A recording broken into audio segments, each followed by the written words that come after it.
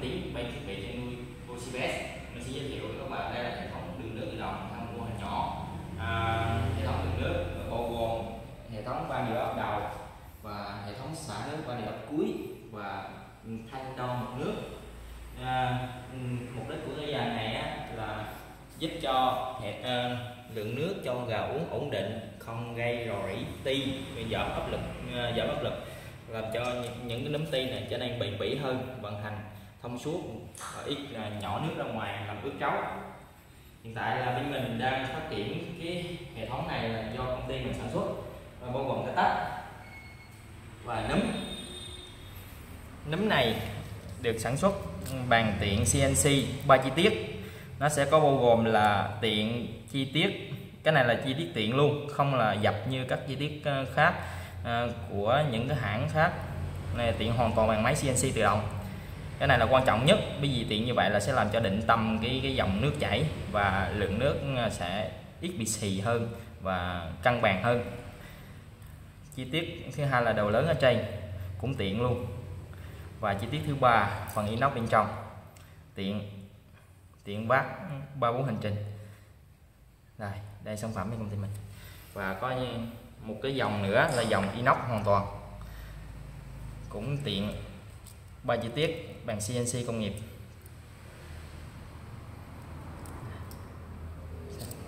À, tiếp theo á, là mình đang phát triển cái hệ thống à, khớp nối có thể tháo rời. Mục đích của cái sự phát à, của cách làm này á, là giúp cho mình à, vệ sinh tháo dỡ di chuyển à, và có thể là thay đổi hành trình chiều dài của một hệ thống bất kỳ lúc nào. Hoặc là sang nhượng bán lại những hệ thống này một cách thoải mái luôn. À, không có gây hư hại về hệ thống đường ống mà giữ nguyên được cái à, sản phẩm theo uh, hình thái. Mình sẽ mở ra cho các bạn xem. Cái này là tất cả là theo kiểu module lá ghép bao gồm có đầu đực và đầu cái. Đấy đó các bạn ghép nối lại với nhau là được nối lại ngắn lại à, mở rộng dài ra. À, có thể phát triển ví dụ trại mình xem thêm mình sẽ nối thêm vào mà mình không cần phải cắt bỏ hay là dán thêm một cái nào nữa để cho cái hình thái nó trở nên không à, đồng bộ với nhau.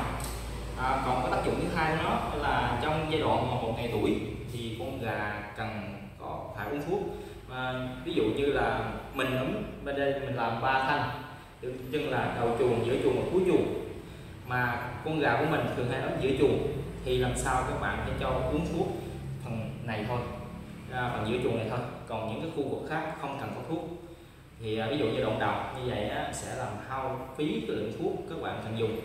Và sẽ không có mình không sẽ không canh được cái lượng pha cho gà uống được nhiều nhất và đạt hiệu quả nhất. Thì à, mình sẽ phát triển thêm là hai cái đầu được cái mục đích đó là để đưa thuốc vào trong khu vực nhất định không cho dùng à, dư thừa thuốc những cái độ này. Và thường, thường thuốc giai đoạn ấm á, là sẽ gây à, dễ gây tắc nghẽn cái hệ thống ừ, à, cấu cạn của đồ. Thì à, ừ, mình chỉ muốn cái đoạn này xong mình sẽ vệ sinh nó lại được luôn. Mình có thể tháo ra đem đi vệ sinh.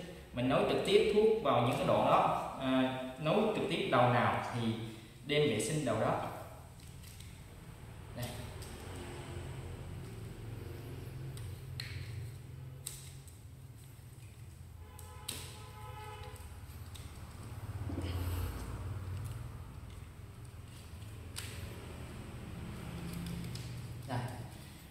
Thì à, như thế này, thì nước, thuốc sẽ đi vào đầu này và khóa van này lại.